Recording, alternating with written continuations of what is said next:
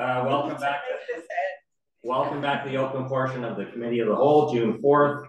Uh, time is ten oh nine, and do we have a motion to adjourn? So moved. Okay, second, all in favor? Yes. Sorry for the, for the minute taker, who moved it?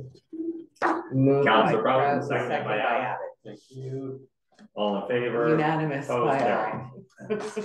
Okay. And if we had to extend the meeting at ten o'clock, I do that retroactively.